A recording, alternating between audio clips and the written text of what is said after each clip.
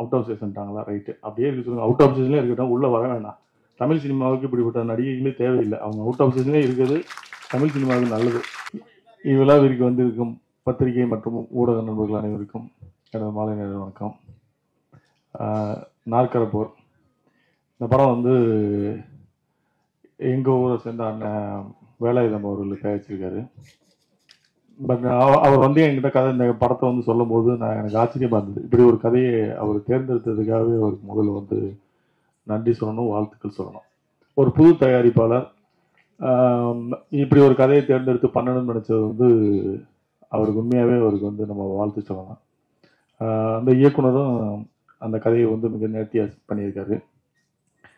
இங்க வெற்றி தோல்விலாம் வந்து சகஜம். ஒரு படம் எடுக்கிறோம் உடனே அது நம்ம வெற்றி பெறணும்னு ஒரு கோடி கலெக்ஷன் ஆகும் அப்படின்றதெல்லாம் வந்து தாண்டி நம்ம வந்து நம்ம எ- நம்ம நம்ம சிறப்பாக செஞ்சு நம்ம வேலையை சிறப்பாக செஞ்சுருக்கோமா? அவ்வளோதான் அதுக்கப்புறம் வந்து அது ரசிகர்கள்ட்ட போகும்போது அது எப்படி அவங்க வந்து ஏற்றுக்கிறோம் செய்யலாம் ஏற்றுக்காமல் இருக்கலாம். ஒவ்வொருத்தருக்கும் ஒரு பார்வை இருக்கும்.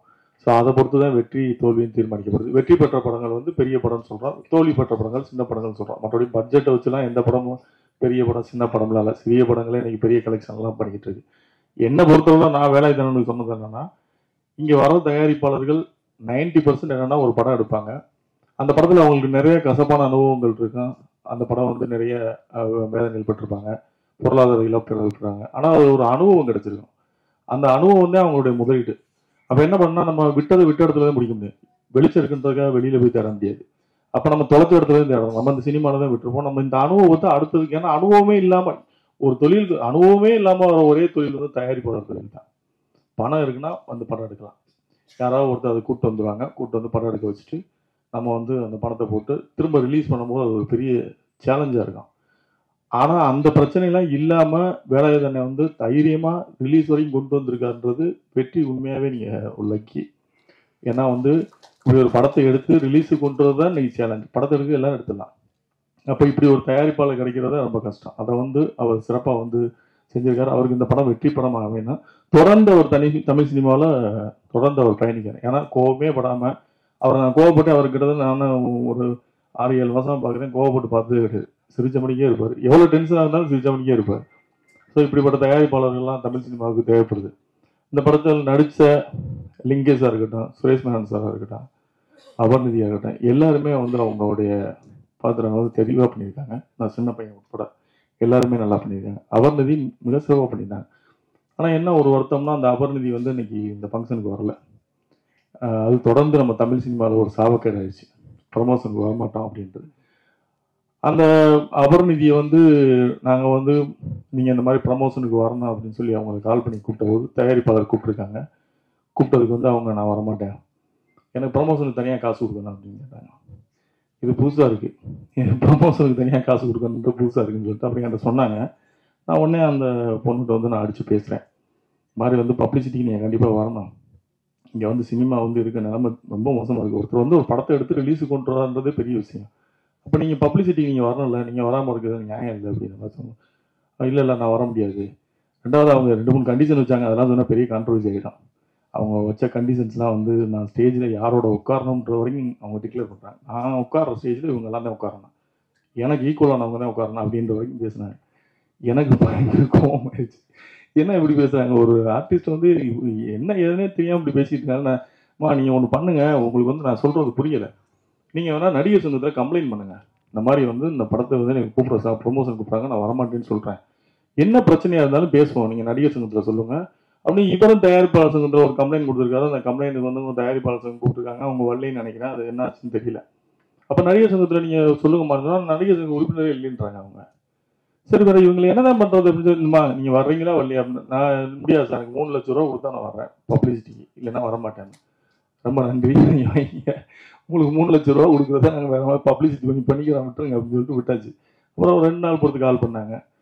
சாரி சார் நான் தெரியாமல் பேசிட்டேன் அன்னைக்கு. இங்கே யாருன்னு தெரியாமல் பேசிட்டேன். சாரி நான் மன்னிச்சிருங்க நான் வந்து அந்த ஃபங்க்ஷனுக்கு வர்றேன் நான் ப்ரொமோஷன்ஸ்க்குலாம் வரேன் இதுக்கு இருக்குங்க சாரி பரவாயில்ல. நீங்கள் சப்போர்ட் பண்ணுங்க அந்த அந்த இயக்குனர் வந்து புதுசாக படம் பண்ணுறாரு உங்களோட நிறைய கலைஞர்கள் நடிச்சிருக்காங்க. நீங்கள் கொஞ்சம் ஃபெமிலியரான ஆள். வந்தீங்கன்னா உங்கள் சப்போர்ட் கொஞ்சம் யூஸாக இருக்கும் வாங்கன்னு சொன்னேன். அதுக்கப்புறம் என்ன ஆச்சுன்னு தெரில அவங்க வரலன்னு நினைக்கிறேன். என்ன சொன்ன அவங்கள்ட்ட ஏதாவது பேசுனாங்களா? அவுட் ஆஃப் ஸ்டேஷன்ட்டாங்களா ரைட்டு அப்படியே இருக்க சொல்லுங்கள் அவுட் ஆஃப் ஸ்டேஷன்லேயே இருக்கட்டும் உள்ளே வர வேணாம். தமிழ் சினிமாவுக்கு இப்படிப்பட்ட நடிகைகளே தேவையில்லை. அவங்க அவுட் ஆஃப் சீசனே இருக்குது தமிழ் சினிமாவுக்கு நல்லது. ஏன்னா இந்த மாதிரி ப்ரொடியூசர்கள் வந்து காயப்படுத்திட்டு பணம் போட்டு படம் எடுத்தவங்க காயப்படுத்திட்டு அவங்க தமிழ் சினிமாவுக்கு வந்து என்ன பண்ணுறாங்க அவங்க அவுட் ஆஃப் சீசனே அப்படியே இருக்கட்டும் அது இதை கூட இங்கே எதுக்கு சொல்கிறேன்னா மற்ற தயாரிப்பாளர் தெரிஞ்சுக்கணும்னு சொல்கிறேன் ஒரு நடிகைகள் எப்படி இருக்காங்க அப்படின்றத தெரிஞ்சுக்கணும்னு சொல்கிறேன் கோமல் சர்மா அந்த படத்தில் நடிக்கிற கூப்பிட்டுருக்காங்க அந்த வந்திருக்காங்க. நமிதா அவங்க பிசினஸ் கூப்பிட்றாங்க வந்திருக்காங்க. ஸோ ப்ரமோஷனுக்கு வரலைன்னா என்ன அது என்ன ஆக்டிவிட்டின்னு தெரியல இது ரொம்ப வருத்தமான ஒரு விஷயமா இருக்கு. அப்புறம் எல்லாரும் என்னை பற்றி சொன்னாங்க நான் வந்து படம் சரியான படங்கள்? அப்படிலாம் கிடையாது. நாம எனக்கு வந்து அண்ணன் வேலை தானே வந்து நம்ம ஊருக்காரு. சரி அவருக்கு சப்போர்ட் பண்ணணும் அப்படின்னா ஏன்னா நல்ல படங்கள்னா நமக்கு வந்து சமீபத்தில் நான் மீரா கதிரவனோட படம் ஒரு படம் பார்த்தேன். மிகச்சிறந்த படம். இப்போ சொல்கிறேன் எழுதி வச்சுங்க அந்த படம் வந்து தமிழ் சினிமாவில் வந்து பர பெருசாக பேசப்படும். அந்த மாதிரி ஒரு படம். எனக்கு ஒரு படம் பிடிச்சதுன்னா எனக்கு அந்த படம் வந்து ஏதாவது ஒன்று பண்ணணும்னு எனக்கு மனசுக்குள்ள ஒரு ஒரு ஜெயிக்கிறோம் தோக்குறோம்லாம் தாண்டி எனக்கு கதை பிடிக்கணும் ரெண்டாவது வந்து அந்த படத்தில் ஏதாவது ஒரு கருத்து இருக்குன்னா பண்ணுவேன். இல்லைன்னா வந்து அது எனக்கு பெருசாக நாட்டம் போகாது. அப்படிதான் நான் பண்ணுறது அவன் அப்படி பார்க்கப்பட்ட படங்களில் இந்த நாட்கிற போரே எனக்கு வந்து இதில் பேசக்கூடிய அரசியல் எனக்கு ரொம்ப பிடிச்சிருந்தது. இது வரைக்கும் யாரும் சொல்லாத ஒரு விஷயம். நான் மிக மிக அவசரத்தில் சொன்ன மாதிரி அந்த கண்டென்ட் மாதிரி இதுலேயும் இந்த இந்த விஷயம் வந்து இது வரைக்கும் யாரும் தொடாத ஒரு ஏரியாவை தான் அந்த இயக்குனர் தொட்டிருப்பாரு. அதை நேர்த்தியாக கைவிச்சிருவாரு ஸோ அதனால இந்த படத்துக்கு வந்து நம்ம ஆதரவு கொடுக்கணும் அப்படின்னு நினச்சிட்டு இந்த படத்துக்கான வேலையில் ஆரம்பித்தான் தயாரிப்பாளர்கள் முக்கியம் அப்படின்லாம் எல்லாரும் பேசலாம் இன்னைக்கு ஈவினிங் எனக்கு ஏற்பட்ட ஒரு கதை இவங்கெல்லாம் இதில் பேசும்போது எனக்கு வந்து எனக்கு மைண்டில் ஃபுல்லாக தான் ஓடிக்கிட்டு இன்னைக்கு சாயந்தரம் ஏற்பட்ட ஒரு கசப்பான அனுபவம். சமீபகாலம் பார்த்தீங்கன்னா நான் பத்திரிகையாளர்களுக்கு எல்லாருக்குமே நல்ல நண்பர்கள் எல்லாருமே என்னுடைய சகோதரர்கள் எல்லாரும் நான் நெருங்கி பேசக்கூடிய எல்லாரும் எல்லாருமே நேரடியாக பேசக்கூடிய நண்பர்கள் எல்லாருமே எனக்கு. இங்கே இருக்க பத்திரிகையாளர் அத்தனை பேருமே நேரடி தொடர்பில் இருக்கவங்க எல்லாருமே அண்ணன் தம்பியாக பழகக்கூடிய ஒரு சமீப காலமாக ஒரு வார இதழில் வந்து தொடர்ந்து வணங்கான பற்றி தவறான செய்தி வந்துகிட்டே இருந்தது எனக்கும் பாலானனுக்கும் பிரச்சனை. பாலானனுக்கு எனக்கும் பணத்தினால பிரச்சனை. என்னன்னு சொல்கிறாங்க நான் கடந்து போயிடுறது. என்ன பஞ்சாயத்து? ஒருவேளை பஞ்சாயத்து இருந்தால் நீங்களே வந்து கூட தீர்த்து வச்சுட்டு போயிடுறேன் எங்க ரெண்டு பேருக்கு ஏதோ பஞ்சாயத்துனா சரி பரவாயில்ல நீங்களே வந்து தீர்த்து வச்சுட்டு போயிருங்க அப்படின்னு கூட எனக்கு நுழைந்து வருது எதுக்கு எழுதுறாங்க அப்படின்னு. இந்த இது பிரச்சனை ஒரு பக்கம் போயிட்டு இருக்கும்போது இன்னைக்கு சாயந்தரம் அதே பத்திரிகையிலேருந்து ஒரு இன்டர்வியூவாக வந்திருந்தாங்க. அதே வார இதழ் ஒரு முன்னணி வார இதழ் இன்டர்வியூவாக வர்றாங்க. அந்த பத்திரிகையில் பணியாற்ற அத்தனை பேருமே என்னுடைய நண்பர்கள். அவங்க வச்ச கேள்வி வந்து எனக்கு உண்மையாகவே வந்து மிகப்பெரிய ஒரு கோபத்தை முன்னாலாம் எப்படி நீங்கள் பத்திரிகையில் எங்கிட்ட கேள்வி வைப்பீங்க ஒரு கேள்வி கேட்பீங்க நாங்கள் பதில் சொல்லுவோம் அதுக்கு ஒரு துணை கேள்வி கேட்பீங்க. அந்த அந்த நான் என்னோட பதில்ல ஒரு துணை கேள்வி கேட்பேன். இதெல்லாம் வந்து ஜேர்னலிஸ்ட் இவங்க வந்து பத்திரிகையாளர்கள். அந்த அந்த தரத்தில் தான் என்னை பத்திரிகையாளர்கள். ஆனால் ஒரு கேள்வி கேட்போம்.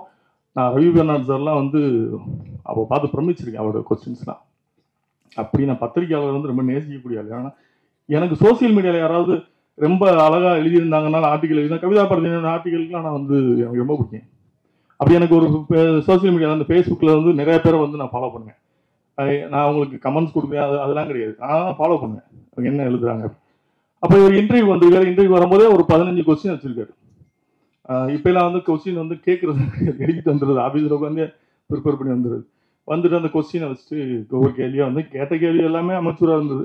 எல்லாத்துக்கும் பதில் சொன்னேன். கடைசியில் ஒரு கேள்வி கேட்டார். பாலாவை வச்சு படம் எடுத்தவங்களாம் ரோட்டுக்கு போயிட்டாங்க. நீங்கள் எப்போ ரோட்டுக்கு வரீங்க எனக்கு பயங்கர கோபம் வந்துருச்சு. இ- படம் எடுத்தவங்க ரோட்டுக்கு வந்துட்டாங்க. நீங்கள் எப்போ ரோட்டுக்கு வரீங்கன்னு ஒரு பத்திரிகையாளர் கேட்க வேண்டிய கேள்வியா இது? நான் இதே கேள்வியை திரும்பி அந்த பத்திரிகையாளர் கேட்டேன்னா உங்களை மாதிரி பத்திரிகையாளர்லாம் வச்சுட்டு இருக்கிற அந்த அந்த பார அவர் என்னைக்கு ரோட்டுக்கு வருவார்? அப்படின்னு கேட்டேன்னா இது எப்படி இருக்காங்க எனக்கு ரொம்ப இன்னைக்கு இன்னைக்கு இந்த இந்த மேடையில் நான் வந்து உட்காந்துருக்கும் போது எனக்கு மைண்டில் தான் ஓடிட்டு இருந்துச்சு. இவங்க எல்லாம் பேசும்போதெல்லாம் எனக்கு வந்து அந்த செய்தி மட்டுமே மைண்டில் ஓடுது இது எப்படி இப்படி கேட்குறாங்க ஒரு படத்தை கோடிக்கணக்கில் போட்டு எடுக்கிறான். ஒரு ஒரு ஒரு தகுதியான ஒரு கேள்வி இல்லாமல் அப்படி வந்து வந்து நீங்கள் எப்போ ரோட்டுக்கு வருவீங்க அப்படின்னு கேட்டால் இது என்ன கேள்வி இது? இது எப்படி இதை ஏற்றுக்கிறது என்னன்னு எனக்கு தெரில இனிமேலாவது அந்த பத்திரிக்கை நான் பேர் நாகரிகங்கிறது அந்த பேர் சொல்லக்கூட விரும்பலை. இனிமேலாவது அந்த பத்திரிகை பணிபுரிவர்களும் சரி அந்த பத்திரிகை நி- நிர்வாகமும் சரி கொஞ்சம் உங்கள் செய்தியாளர்கிட்ட கொஞ்சம் அனுபவமான கேள்விகளை கேட்க சொல்லுங்கள் ஏன்னா இது எங்களை காயப்படுத்துது. எவ்வளோ வழி இருக்குன்னு யோசிச்சு பாருங்கள் கோடிக்கணக்கில் பணம் போட்டு நிக்கிறோம் நாங்கள் எப்போ நீங்கள் ரோட்டுக்கு வருவீங்கன்னு கேட்குறது அதே கேள்வியை நீங்கள் வேற மாதிரி கேட்கலாம். பாலா வச்சு படம் எடுத்தவங்கலாம் ரோட்டுக்கு வந்துட்டாங்க ஏற்கனவே அப்படின்னு ஒரு டாக் இருக்கு. இதை இந்த பத்தி உங்க இந்த விமர்சனத்தை பத்தி நீங்க என்ன கேட்குறீங்கன்னா அது நியாயமான கேள்வி. நீங்க எப்போ ரோட்டுக்கு வருவீங்கன்னு கேட்கறது என்ன கேள்வின்னு எனக்கு ஒன்றும் புரியல. இது என்னுடைய ஆதங்கம். ஆக்சுவலாக வந்து நீங்கள்லாம் என்னுடைய நண்பர்கள் பத்திரிகையாளர்கள் கூட நண்பர்கள் உங்கள் மேலே மிகப்பெரிய மரியாதை வச்சிருக்கேன் உங்களோட நண்பராக பழகுறேன். என்னோட ஆதங்கத்தை சார் எனக்கு வந்து இவங்கெல்லாம் பேசும்போது எனக்கு மைண்டில் அதுதான் ஓடிட்டு இருந்துச்சு. என்ன இப்படி கேட்டாங்க? எனக்கு வரும்போது அதுவும் இந்த ஃபங்க்ஷனுக்கு கிளம்பி வரும்போது நான் அப்பவும் நான் அந்த ஃபங்க்ஷனுக்கு போறேன் அப்படின்னு சொல்றேன். இல்ல இல்ல ஒரு பத்து நிமிஷம் தானே உட்காந்து முடிச்சு போயிருங்கன்னு சொன்னோன்னே சரி அப்பவும் அந்த இம்பார்ட்டன்ஸ் கொடுத்து ஓகே நம்மளை மதிச்சு விட்டு வர்றாங்க கொடுப்போம்னு சொல்லி கொடுக்கும்போது கேட்ட கேள்வி வந்து எனக்கு ரொம்ப ஹர்ட் ஆயிடுச்சு. எனிவே இந்த நாற்கரப்போர் படத்தில் வந்து பணியாற்றின அத்தனை பேருக்கும் என்னுடைய வாழ்த்துக்கள். இந்த படம் வந்து ஒரு மிகச்சிறந்த படமாக இருந்தேன் இதில் பேசப்பட்ட கருத்துக்கள் வந்து விவாதிக்கப்பட வேண்டிய ஒரு கருத்துக்கள். இது வந்து எல்லாருமே தெரிஞ்சுக்க வேண்டிய விவாதிக்கப்பட வேண்டிய ஒரு கருத்துக்கள். ஸோ அந்த படம் வந்து வெற்றி பெறுவதற்கு என்னுடைய வாழ்த்துக்கள். வந்திருந்த அனைவருக்கும் எனது நெஞ்சம் நிறைந்த வாழ் நல்வாழ்த்துக்கள். விடைபெறுகிறேன். நன்றி.